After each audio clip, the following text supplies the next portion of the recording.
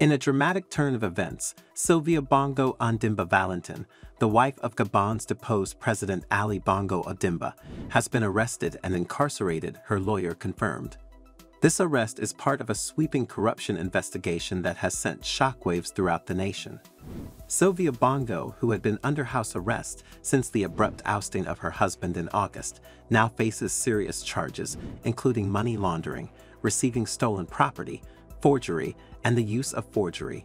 Her lawyer, Francois Zimeray, condemned her detention as arbitrary and an illegal procedure, raising questions about the legal basis of her arrest. The arrest of Sylvia Bongo follows a string of high-profile detentions, including that of her son, Noureddin Bongo Valentin, who stands accused of corruption and embezzlement.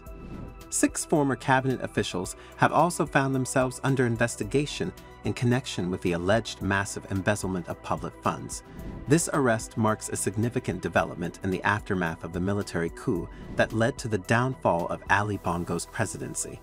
Sylvia Bongo had been under house arrest since the coup, which brought an end to the Bongo dynasty's nearly 60-year rule in Gabon. Reactions to the news of Sylvia Bongo's incarceration have been mixed among the Gabonese people. While some express satisfaction and demand justice for alleged financial wrongdoing, others are eager to see the embezzled funds return to the nation. Many believe that the Bongo family's financial activities have contributed to the country's widespread poverty. Sylvia's lawyer confirmed that a hearing for her release is scheduled in 10 days, offering a glimmer of hope for her supporters.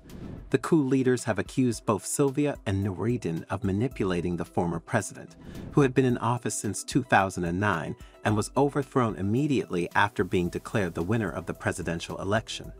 The election's legitimacy had been challenged by the opposition and the military coup leaders, who also alleged corruption and poor governance during Ali Bongo's rule.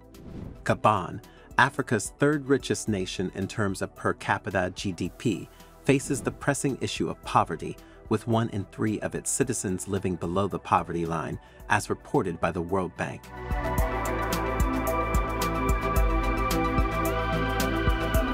So, what do you think of these recent developments in Gabon?